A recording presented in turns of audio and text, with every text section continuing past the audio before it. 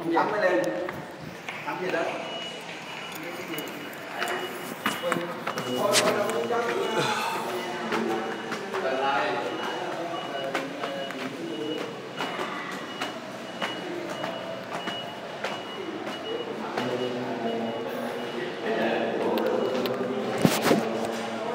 Chào quý công.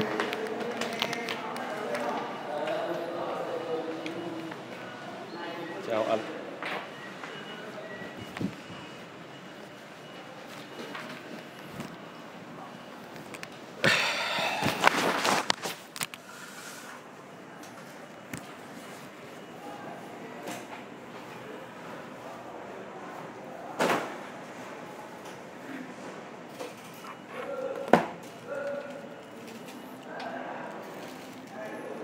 Không ghi tên.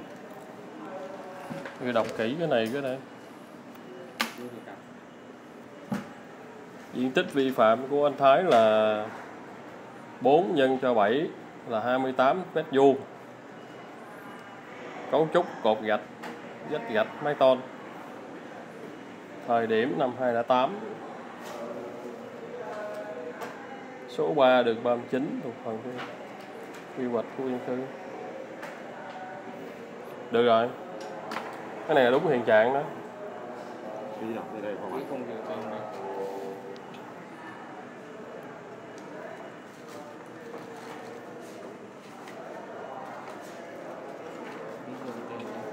tên luôn không? ký ghi gọi tên. Anh ký ghi gọi tên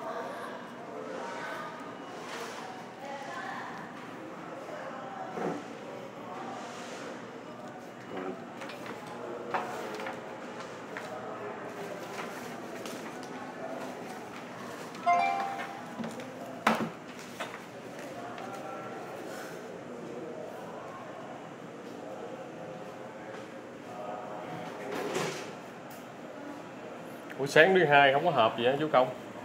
Không, tôi nói thiệt Cái này nói chơi cho anh em nghe thôi. Chứ năm 2008 là tôi cố đưa vào cái đoạn đó mới có phạt Còn sau đó là sẽ không được phạt luôn á. Mà vẫn không được Đó chứ không phải là, chứ không phải là tự nhiên ví dụ như nhiều khi tôi xác nhận như thế để nghĩ là ông này ông không nắm được ông xác nhận không đúng không không phải vậy đâu. Đấy là sự như thế cố gắng làm sao cho người dân làm được đấy. Mà chứ còn không phải là tôi không nắm được thời điểm. Nhưng mà thôi phải cái nó tại vì giúp được cái gì giúp. Ý nói thế nào. Rồi cảm ơn chú à, nhé cái đó nói thiệt cho tôi biết cho nên là ví dụ như chú bà ngọ rồi tôi còn biết là như thế nào luôn nữa nhưng mà thôi cả chuyện đó chuyện xã hội mà. 10 ngày rồi. Không, 10 ngày thôi. thì cũng y như gì ngọ thôi. Bây giờ à, ngày mấy tháng mấy, ủy ban nhân dân phường Bình Thuận tiến hành lập biên bản vi phạm hành chính trong lĩnh vực xây dựng. Có hành vi tổ thi công, xây dựng công trình không có giấy phép. Xây dựng ờ, 2008 qua làm việc, ông Trần Trọng Thái cam kết sẽ thực hiện đóng phạt khi cơ quan nhà nước ban hành quyết định xử phạt vi phạm trong thời gian 10 ngày, kể từ ngày nhận được quyết định xử phạt vi phạm chính.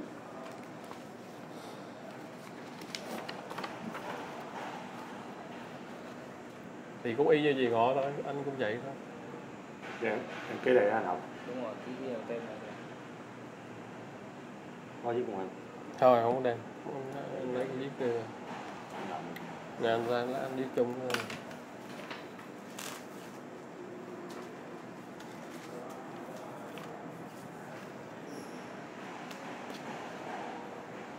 Nói anh.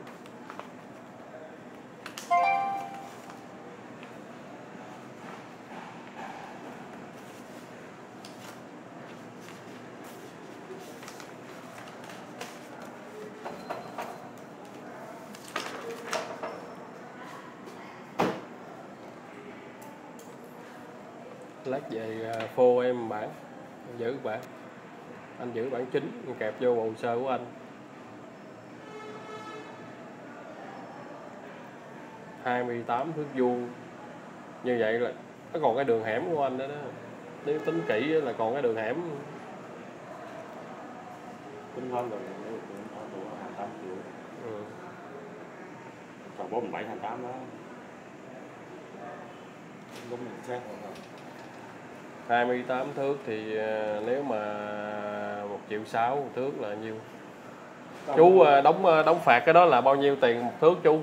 Đặc biệt là về cái vụ mà bao nhiêu tiền một thước thì chú hoàn toàn không có nắm bởi vì sao? Chú chủ yếu là bên giấy tờ cho nên bây giờ nó có hai ông địa chính mà về vấn đề xây dựng thì các cái văn bản liên quan là người ta phải phải đọc hoặc là các cái ấy đó tại vì cái này là quận xử phạt phạt Đó, thành ra là không phải phường. Mà nếu lên sai á, thì quận sẽ không ra quyết định xử phạt mà yêu cầu làm lại biên bản. Đó là điều chắc chắn. Tức là trên đó nó sẽ có những cái đơn vị người ta thẩm định cái chuyện này Đấy, cho nên là yên tâm. Chứ không phải là phường ra quyết định thì sợ là phường sai đúng không? Nhưng mà biên bản này thì được chuyển về bản tại vì quá 5 triệu là thẩm quyền của ủy ban quận. Cho nên khi người ta ban hành ra thì thì là làm ấy rồi. Là làm à, đóng phạt xong thì làm đấy tại nó khu dân cư Dạ. nhưng mà không biết là cái giá đóng phạt là bao nhiêu. Không. Cái đó đi hỏi được không? Hỏi ở đâu à, chú? Không đô thị. Đô, thị của quận à, chú. Đúng rồi. Nó còn phụ thuộc tuyến đường này nó phụ thuộc về chất lượng của cái căn nhà này. Dụ Dạ. nhà lầu khác nha. Tức là ví dụ nhà có bốn thì giá khác mà nhà nhà cao tầng thì giá khác cấp 4 khác ờ, gì như vậy. Xong chưa anh Hồng? Rồi. À, cảm ơn anh nhé. Cảm ơn ờ, chú công nhé. rồi, chú